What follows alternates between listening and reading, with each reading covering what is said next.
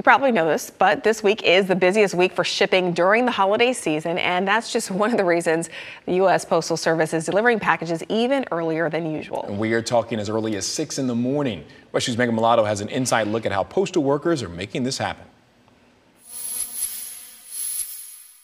Officials with USPS tell us they see the highest volume of packages between Thanksgiving and New Year's Day, with this week being the busiest in December. Now, we got the chance to shadow a local carrier loading up and starting her rounds in the dark and early hours of the morning. She says it's all to keep up with holiday deliveries. Now, the Postal Service anticipates delivering about 900 million packages nationwide this holiday season.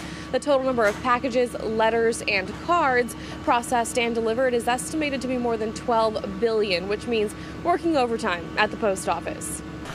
Normally we start at 7.30 in the morning and are out until about 4, maybe 4.30. Package 38. Uh, during the holidays six. we start at 6 and can be out from anywhere from 6, 7, 8 o'clock at night depending on the mail volume. Now, the 6 a.m. start time isn't a year round thing. It's just during the holidays, again, to just keep up with those packages. Now, we're told the carriers that start their shifts that early could work until 6, 7, or even 8 o'clock in the evening. In Orange County, Megan Mulatto, WESH 2 News.